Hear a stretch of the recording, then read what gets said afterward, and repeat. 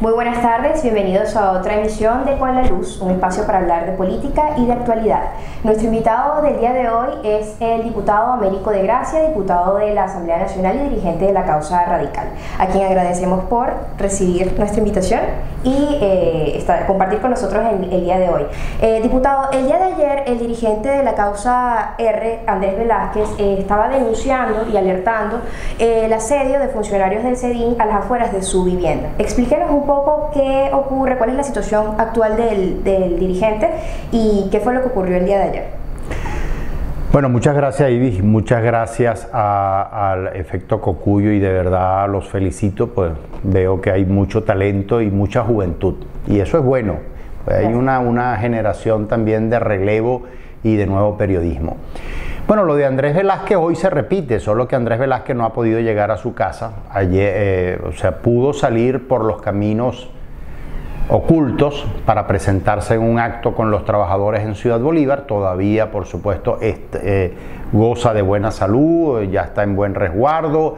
Estamos tratando de evitar en lo posible este tipo de acoso y de seguimiento porque eh, justamente eh, los cuerpos de seguridad represivos del Estado han hecho todo un, trabajo de, acorralamiento, de amedrentamiento contra Andrés Velázquez, contra eh, Alfredo Ramos, que ayer fue, ayer fue mencionado por Diosdado Cabello en su, en su programa de televisión, y por supuesto contra mi persona. Entonces, todo esto yo creo que es efecto de que algún daño colateral le estamos causando al régimen, porque de lo contrario nos olvidarían y sencillamente no se ocuparían de nosotros. Todo este acoso también me lo hicieron a mí en Upata, tuve tres días en Upata y esos tres días no pude llegar a mi casa. Los vecinos me advirtieron y me alertaron y tuve que dormir en sitios distintos. Pero bueno, creo que esto forma parte también de, lo que nos corresponde hacer para liberar al país de lo que está ¿Ha relacionado esta, esta especie de estas amenazas que han recibido y este asedio con denuncias que ha hecho sobre la guerrilla eh, colombiana, la presencia de la guerrilla colombiana en el territorio nacional? Usted ha señalado que específicamente el Ejército de Liberación Nacional tiene operaciones financieras, mineras, militares y políticas en el país. ¿En cuáles zonas específicamente opera el ELN y en qué consiste este negocio en el que, según sus denuncias, estaría implicado el presidente Nicolás Maduro? Bueno, mira, el ELN opera en este momento en el estado Bolívar, en el municipio Sifonte, cuya capital es Tumeremo. Y eso abarca eh, prácticamente toda la línea fronteriza, o la línea limítrofe más que fronteriza, con el Esequibo venezolano y por supuesto lo que se conoce en el mundo como la República Cooperativa de Guyana. Eso es la serranía de Imataca, eso es Anacoco, eso es San José y San Martín de Turumbán, eso es Bochinche, toda esa zona y por supuesto Tumeremo, que es la zona aurífera por excelencia. Luego está San Vicente de Paul, que es el municipio eh, cedeño, donde operan las minas de diamante, más, digamos, las más ricas de Venezuela. Y después está la mina de Coltán en Parguasa, que es al sur de Caicara del Orinoco, también municipio cedeño, que es en el cuadrante que está el estado Bolívar acá, el estado Amazonas abajo, el estado Apures aquí arriba y abajo está Puerto Carreño, que es Colombia. En ese cuadrante opera el, eh, el ELN a sus anchas. Y ahí opera, y voy con la segunda parte de la pregunta, eh, en, ese, sitio del Coltán opera World Marketing. World Marketing es un mascarón de proa que tiene eh, como beneficiario directo a Nicolás Maduro Guerra, mejor conocido como Nicolásito, que efectivamente es el hijo de Nicolás Maduro. ¿Qué, tanto poder tiene el constituyente eh, Nicolás Maduro Guerra en esta zona? ¿Y cuáles son las pruebas que usted tiene para hacer esta afirmación? Todas las pruebas que hemos recaudado y que hemos recabado a lo largo de todos estos tiempos son los testimonios, que al final los testimonios nos han dicho la verdad. Nos dijeron la verdad el 26 de septiembre del año 2006, yo ni pensaba ser diputado, era un ciudadano común y corriente y silvestre del Estado Bolívar.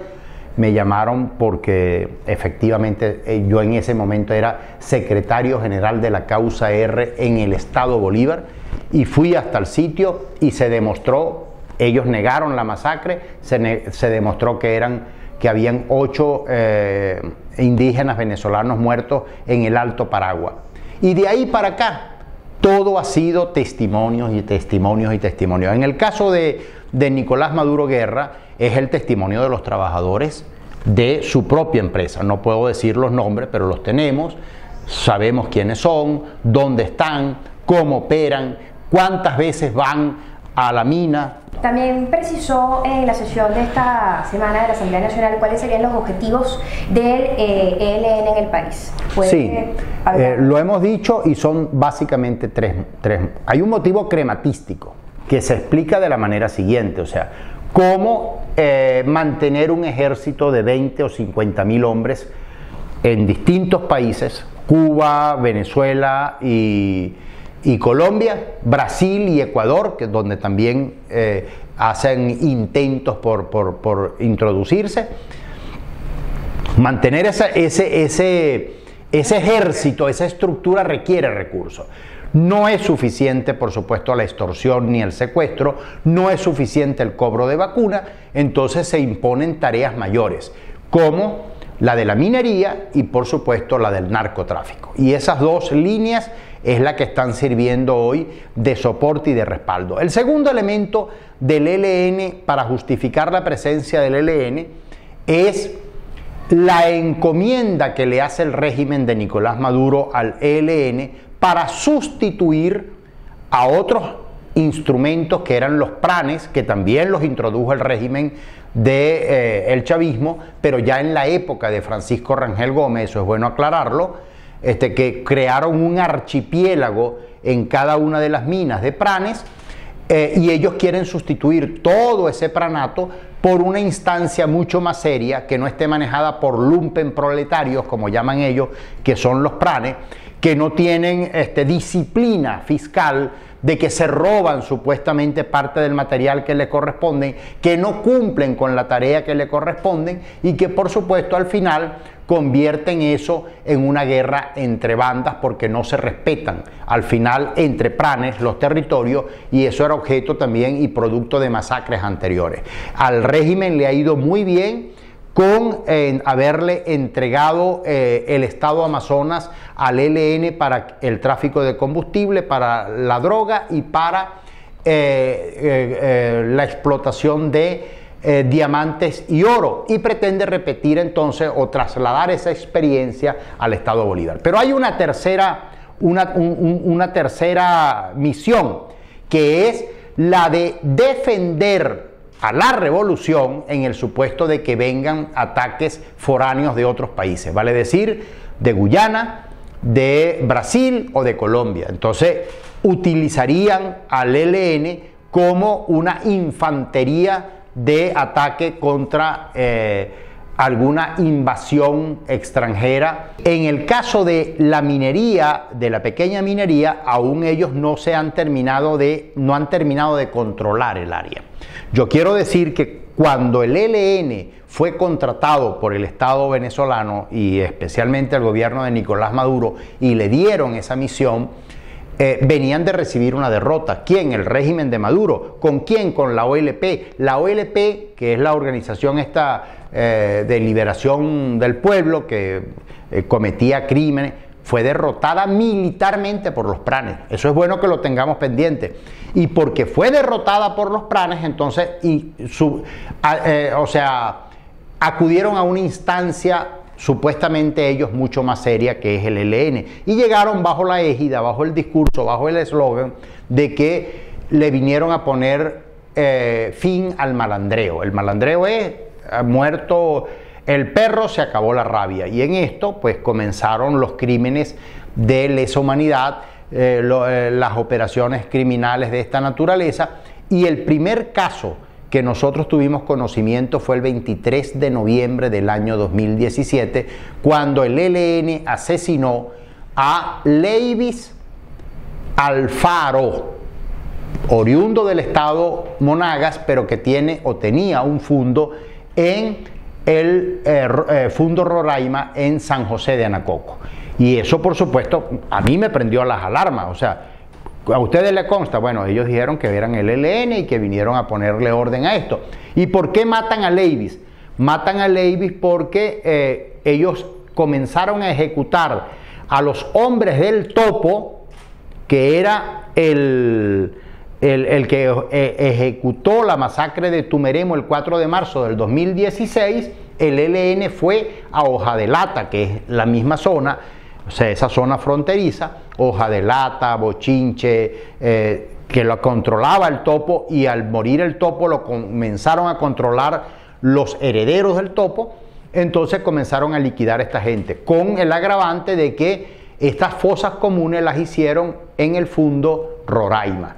Y por supuesto el señor Levy se percató del crimen, se percató de la, de la situación y por supuesto, no, no, no solamente que era un testigo, sino que les dijo, les reclamó que no usaran su territorio para eso porque lo iban a meter a él en problemas. Eso le costó la vida y por supuesto ahí comenzó todo un entramado de, de, comenzar, de recoger los testigos y los testimonios y por eso doy los nombres para que sepan este, que de lo que estamos hablando es con conocimiento de causa. El pasado 4 de noviembre fueron asesinados tres funcionarios de la Guardia Nacional Bolivariana a manos de un grupo irregular armado en el estado Amazonas. El gobierno colombiano asegura que es el ELN el responsable de estas muertes y usted adelantó que va a solicitar la interpelación del ministro de la Defensa. Además, eh, ¿cuándo va a formalizar esta solicitud? Y además de Vladimir Padrino López, ¿cuáles serían los otros funcionarios que tienen que ser interpelados también por esta, este lamentable hecho? Mira, los funcionarios deberían ser varios, ¿no? Uno, incluso quienes detuvieron a Luis Felipe Ortega Bernal, que es al final como se llama este terrorista que fue detenido. Cómo lo detienen, dónde lo detienen, cuándo lo detienen, porque, o sea, esa investigación debe dar muchas luces.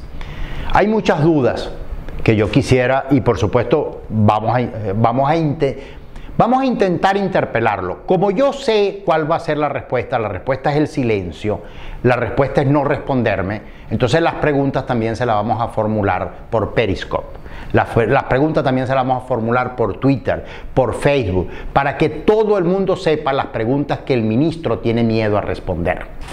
Porque ¿cómo es posible que este coronel de la Guardia o este oficial de la Guardia Nacional llegue al fondo Los Mangos? Es una cosa que a mí me llama poderosamente la atención.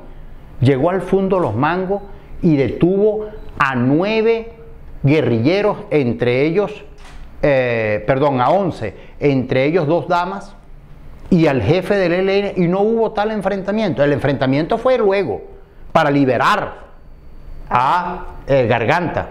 O sea, lo que significa que había una relación. Perdóname, o sea, si tú llegas al, al Ato Los Mangos, y eres recibido, no eres recibido a plomo y eres, eres autoridad, alguna relación tiene que haber. Eso tiene que explicarlo el coronel que detuvo a eh, Luis Felipe eh, Ortega Bernal. Además, usted ha señalado que algunos militares en Bolívar eh, se refieren al ELN como aliados. Sí, y cuando digo algunos militares, yo entiendo tu, tu el cuidado como periodista que tú debes de tener, yo digo que es el general Mantilla, que es el jefe del REDI. ¿Y por qué digo que es el general Mantilla? Porque dijo delante del 6CPC, le voy a mencionar de quién, delante de quién usted lo dijo. Usted lo dijo delante del 6CPC, usted lo dijo delante de el fiscal general, el fiscal del Ministerio Público que estaba presente en el, y lo dijo en el fuerte Tarabay, que es el fuerte de eh, Tumeremo y lo dijo delante el, alcalde del municipio, y lo dijo delante el jefe del 6CPC, y lo dijo delante del SEBIN, y lo dijo delante el comandante de la Guardia Nacional, y lo dijo delante el comandante del ejército. Entonces, decir, decir, hay unos politiqueros, no sé, como el, único político en ese momento que estaba reportando el hecho era Américo de Gracia, presumo que usted se dirigía a mí, y dice eh, que que quieren exponer a nuestros aliados al escarnio público. ¿Quiénes son sus aliados? Pues yo estaba hablando mal y estaba hablando sobre la verdad de lo que estaba ocurriendo del ELN y de los pranes. ¿Cuál de los dos era el aliado suyo?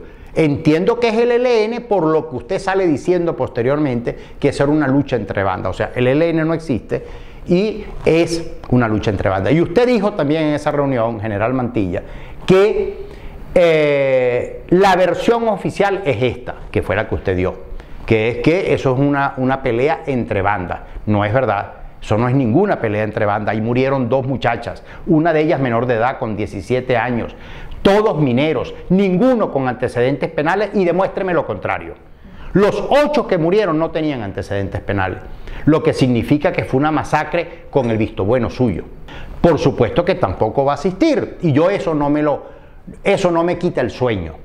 Lo que debería de quitarles el sueño a ustedes es que esto va a pasar y ustedes tendrán que rendirle cuenta ante la historia de lo que esto está ocurriendo como rindieron los nazis ante la comunidad internacional y fundamentalmente ante el pueblo de Israel. El ELN controla absolutamente todo. Es más, hay un testimonio que se dio en la Asamblea Nacional, ya no solamente de Américo de Gracia, de William Dávila, por ejemplo, que fue, viajó a San José de Anacoco y fue parado en varias ocasiones por las alcabalas del ELN.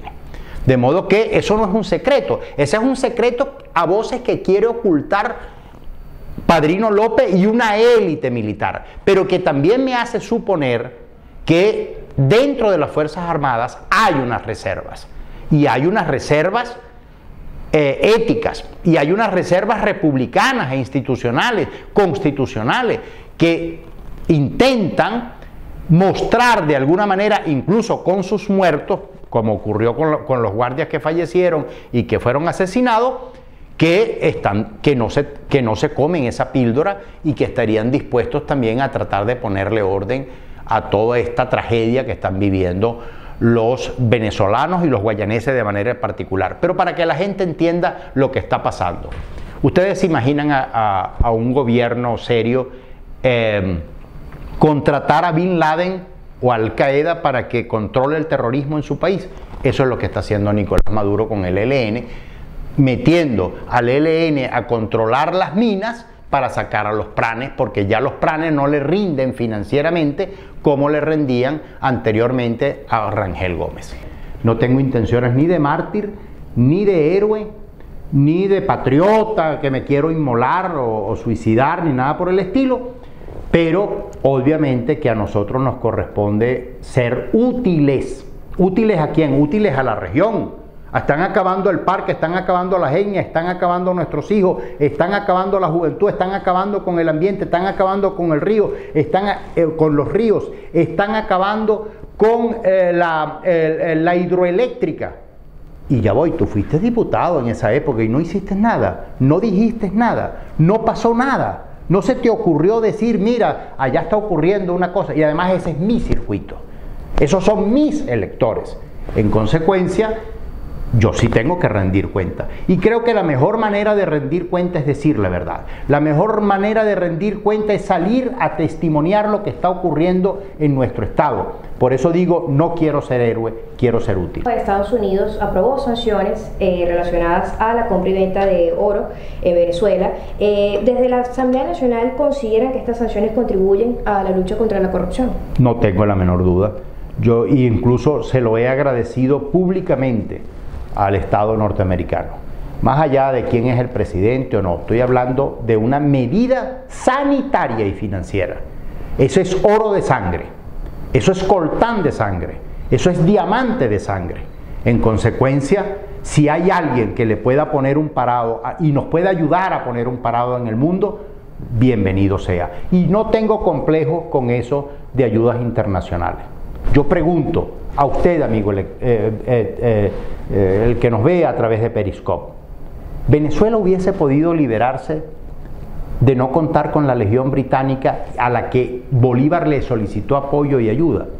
Esto no justifica lo que simplemente pongo la interrogante porque nosotros necesitamos ayuda porque ellos tienen ayuda internacional. El ELN es un cuerpo terrorista internacional. El Hezbollah, que está en las minas de la Rosita, del el lago de Guri en el municipio de Angostura, en mi circuito, a dos horas de Ciudad, de Ciudad Guayana, es el Hezbollah de Taret al-Aizami, que son fuerzas de terroristas internacionales. Y si algo pudo demostrar la tragedia del 11 de septiembre eh, con la, eh, la, caída de la torre gemela, es que no hay enemigo pequeño. Para que sepan los guaraos, aquellos que nos ven a través de, esta, de, esta, de este video, los guaraos son naturales del delta. ocupan Sierra y Mataca, justamente donde está el ELN. Esa tierra es ocupada. ¿Por qué los guaraos van a dejar de vivir en su hábitat para irse a vivir en vertederos y a vivir de la limosna que les entregan en los, en los, en los semáforos? Y hay alguna gente, obviamente desinformada, que dice, bueno, deberían agarrarlos todos y regresarlos para su sitio de origen. Ya voy, y no te has preguntado por qué salen de su sitio de origen.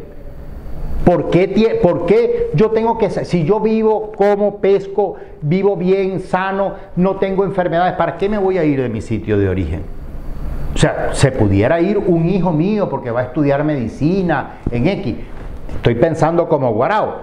Huyen del terror, de las masacres, huyen justamente diezmados por la contaminación que se ha hecho de todo su hábitat. El hecho de que una decisión como la de Zapatero tardó cuatro semanas consecutivas para ser debatida, discutida y, presentada, eso evidencia de que, bueno, ya no hay posibilidades de entendimiento si no es por la vía democrática como se resolvió eso. O sea, el país no quiere a Zapatero como mediador no lo quiere en la, en, la, posible mesa de negociación. No confiamos en él porque forma parte de un tinglado del gobierno. Eso quedó claro y lo tiene claro todos los venezolanos. Que otros no lo tengan claro por los intereses o por las cosas que opinan, bueno, que lo digan ellos, no voy a ser yo. ¿Cómo es que la FARC tiene un canciller que es un grupo terrorista y nosotros no tenemos un vocero de carácter internacional que nos permita orientar y disciplinar la, todo el apoyo internacional que tenemos. ¿Eso es responsabilidad de Maduro? No, eso es responsabilidad nuestra, nuestra, de la oposición, de los que somos diputados en la Asamblea Nacional, de la que no me eximo. Es responsabilidad de la causa R y de todos los partidos que forman parte de la mesa democrática. Eso no se lo podemos achacar a la narcodictadura. Eso es algo que tenemos que resolverlo nosotros. Y por supuesto, en la medida en que pongamos las cartas sobre la mesa de las cosas que tenemos que resolver, yo creo que es necesario la escogencia de un líder. Llámalo canciller, llámalo como lo queramos llamar. El asunto está en que nosotros tenemos que tener más que unidad de barajitas y de, siglas, es unidad de propósito. ¿Queremos salir de Maduro o queremos consolidarlo para ver cómo nos corresponden cinco concejales más o ocho concejales menos? Ese no es el punto. El punto es cómo salimos de la dictadura de Nicolás Maduro, cómo desmontamos esta esta organización criminal. Y algunos dicen, esto no es una dictadura. Sí, no es una dictadura que se parezca a la de Juan Vicente Gómez. No es una dictadura que se parezca a la de em, eh, Marcos Pérez Jiménez, pero en efecto es una dictadura del siglo XXI, con un cuño distinto. Ahora, si quieren que les dé una nota de optimismo, yo creo que hemos avanzado. ¿Cuál es la situación de los trabajadores de las empresas básicas de Guayana? Las empresas básicas de Guayana están quebradas, absolutamente quebradas, para que tengan una idea. Ferrominera Orinoco hasta el año 2006, toda la historia de la Ferrominera Orinoco hasta el año 2006, léanme los labios, hasta el año 2006 dio ganancias. Del 2006 para acá ha ido dando pérdidas. ¿Quién cubre ese déficit? Ese déficit lo cubría, lo cubría eh, la industria petrolera. Ahora ya la industria petrolera también está quebrada y no puede financiar ese déficit. Estoy hablando de la empresa más rentable de Guayana, que era la Ferrominera Orinoco. Si esa está mal, imagínense tú cómo están las otras. Y ustedes vieron un video que la gente, algunos lo tomaron a chiste, otros no, de cómo un ciudadano este, cómo le estaban pagando con huevos, cartones de huevos a los trabajadores, en especie. O sea, llegamos aquí a una etapa pre-esclavitud. O sea, a eso llegaron las empresas básicas, a estar quebradas absolutamente. Y otro ejemplo racional de lo que estoy diciendo en materia de empresas básicas es lo que pasó con Sidor. O sea, Sidor en manos de la transnacional argentina y en manos de los trabajadores accionistas tipo B, pagaba a Edelca la electricidad, le pagaba a la CAN TV el teléfono, le pagaba los impuestos municipales al municipio Caroní, le pagaba a Hidrobolívar el agua que consumía, le pagaba al CENIAT los impuestos que, eh, que gerenciaba, le pagaba las ganancias a la República a través de la CBG y le pagaba los dividendos a los trabajadores de accionistas tipo B, decidor. Y, por supuesto, le pagaba la nómina a los trabajadores siderúrgicos. Importaba eh, cabilla y, una cantidad de materiales y llegó a tener el mayor rendimiento en toda su historia.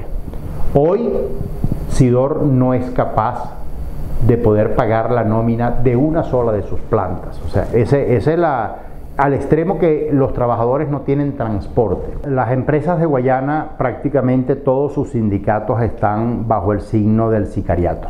Eh, los planes se apoderaron de las empresas quienes están haciendo actividad sindical son trabajadores de resistencia, pero que no tienen eh, el aval de sindicatos. Y eso es importante que se sepa.